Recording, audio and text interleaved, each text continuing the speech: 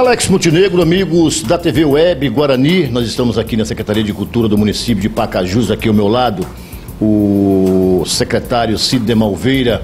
É, sabemos que nós estamos aí na semana que envolve o mês, né? A Semana das Crianças, né?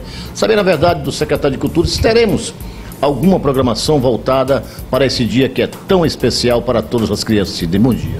Bom, bom dia a todos aí, os telespectadores. Olha, Chico, é claro que a gente não poderia deixar passar essa, esse momento tão, tão especial, né? Que é o Dia das Crianças. A, a, prefeitura não tem parado, a gente tem trabalhado aqui assiduamente, né? E, e, e planejamos realmente uma programação. Na verdade, a gente não está chamando o Dia da Criança, está chamando o mês da criança, uhum. porque na verdade é, não vai ter um único dia, vai sim uma programação, né? todo, praticamente todo final de semana vai ter uma programação destinada ao mês das crianças, né? A gente não vai comemorar no dia 12. Dia 12 é feriado, realmente a gente optou por fazer por dia, no dia 13. Dia 13 de outubro, teremos no Colégio Araci Gonzaga, a partir das 4 horas da tarde, toda uma programação né, é, voltada para as crianças aí, com espetáculos de teatro, a palhaçaria vai estar tá fazendo entretenimento, brincadeiras com as crianças, espetáculos de dança. E nós vamos ter aqui um convidado que é o Mágico Goldini. Acho que o Pacajus ainda não, não tinha vivenciado uma atração, um espetáculo de mágica. Então você, é, a criançada toda, os pais possam levar as crianças lá no Araci Gonzaga a partir das 4 horas no dia 13 de, no dia 13 de outubro. É, então vamos ter assim essas atrações, é, brindes, né, é, essa coisa de entrega de bombons. Então fazer realmente uma coisa bem, bem gostosa, bem atrativo. E um grande atrativo que nós vamos ter no dia 20, 21 e 22, no, no final de semana seguinte, no Complexo Turístico Beira Sud, nós vamos ter aqui, Chico Neto, uma sala de cinema cinema 3D e 2D, uma programação intensa. A cada dia nós vamos ter quatro sessões, né? Claro que uma boa parte dessa programação está voltada para a criançada com a parceria nas escolas, a Secretaria da Educação está conosco e parte das sessões vão ser destinadas às escolas. Ah, a capacidade para esse cinema é, são 250 lugares, climatizado. Eles vêm para cá, montam toda uma estrutura né, climatizado, com cinema, uma tela, uma tela grande, né, então são 25 metros quadrados de área e vai ser montado lá no Beira Sud, né, no Complexo Beira Sud. Além da programação de cinema, durante o dia também vamos ter uns torneios infanto-juvenil, né, voltado lá, a Secretaria de Esportes também está trabalhando nisso, né, para ter várias atividades, jogos de areia, é, durante o dia, ao final de semana, vão ter esses atrativos e o cinema.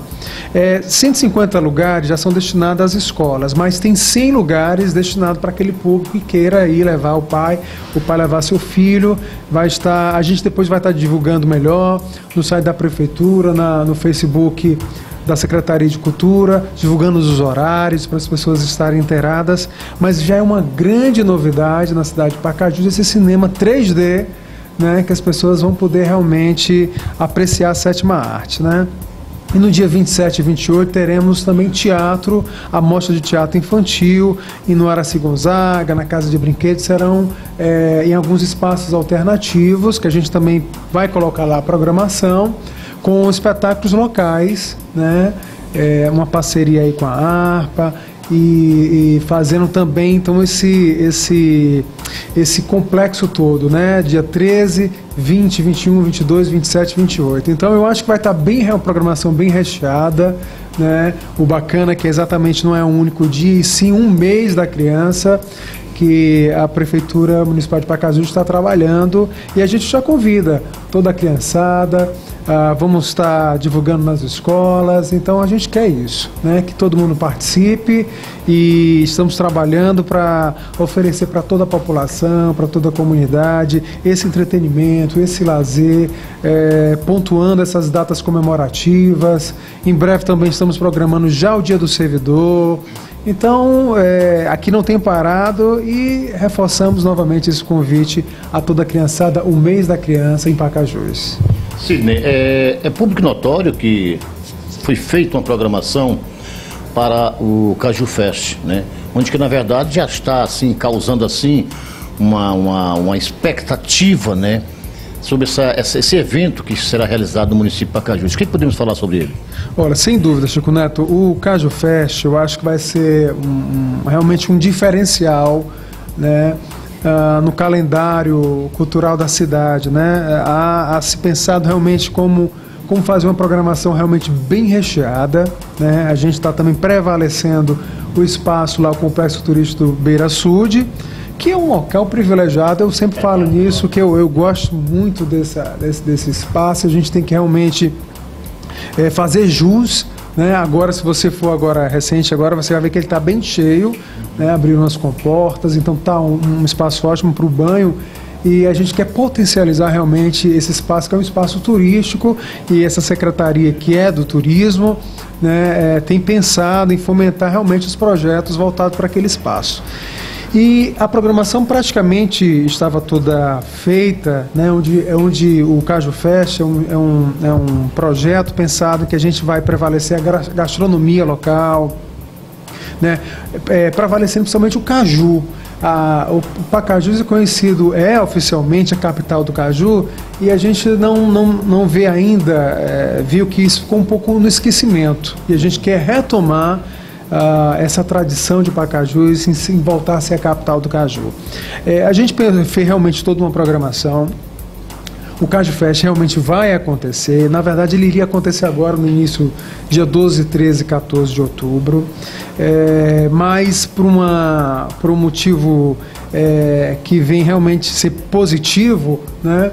Uh, o projeto foi apresentado também ao governo do estado, é, junto o secretário de Desenvolvimento Econômico está trabalhando e houve um interesse do governo do estado, principalmente a Secretaria de Desenvolvimento Econômico do estado, de participar do evento e nos ajudar com a parceria, com recurso, ampliar realmente o Caju Fest. Então, por conta disso, é, a gente vai adiar um pouco. Nessa semana a gente vai estar definindo realmente qual, ser, qual será a data. Eu acredito que no início de novembro, né, mas a gente volta aqui a divulgar, a comunicar. Mas é, os pacajuenses podem sim criar essa expectativa que vai ser um evento que vai agregar muita coisa, né? apresentações artísticas, show de humor, zumba, uh, bandas de rock, encontros de motociclismo, uh, esportes náuticos, jogos de areia, é, as festas, shows, DJs, é, o espaço gastronômico, feira de artesanato, né, feira com, com os produtos internos, aqui o caju, tilápia, piaba. Então é um conjunto né, a Rainha do Caju, que a gente vai fazer o concurso. Então, é um conjunto de atrações, uh, começando 8 horas da manhã, vai até o início da noite. Então, é um, vai ser um momento para todo mundo ir, a família participar, passar o dia inteiro no, no Beira Sul. Então, a gente está trabalhando para isso, para trazer oferecer para toda a população um, um evento de três dias, né, que vai contemplar várias linguagens e para que as famílias realmente voltem a, a, a frequentar o Beira Sul com segurança, com esse sentimento de que é um espaço que deve ser realmente ocupado, vivenciado para toda a família e a gente tem trabalhado aqui nisso. Então aguarde mais um pouco, a gente vai divulgar depois a programação realmente concreta como vai acontecer e a data que vai ser realizado. Então vale a pena que vai ser realmente um evento que vai marcar uh, o município de Pacajus. Olha, para você ter uma ideia, eu, acompanhando as palavras do Sidney, é um evento assim de grande porte, um evento que chamou até mesmo a atenção por parte do governo em entrar com a parceria, né? Porque não é, não é qualquer evento que o governo se interessa para só para é, enaltecer e esclarecer né, de como será esse, esse evento, né, filho? É verdade. Pela complexidade do, do evento, né, é, a gente quer colocar realmente Pacajus de novo na rota turística, né, a rota, criar a rota do Caju, né, entrar nessa rota litoral leste. É, então, assim, a gente está unindo forças com as outras secretarias, Secretaria de Educação, de Esporte, Desenvolvimento Econômico, todo mundo unindo forças para fazer realmente um evento e dar projeção a Pacajus. Né? É, esse, esse momento, principalmente, né, da gastronomia, tem chamado muita atenção. né? Vários outros municípios têm criado sua Rota do Caju, a, aliás, a Rota do Café, a, no maciço de Baturité.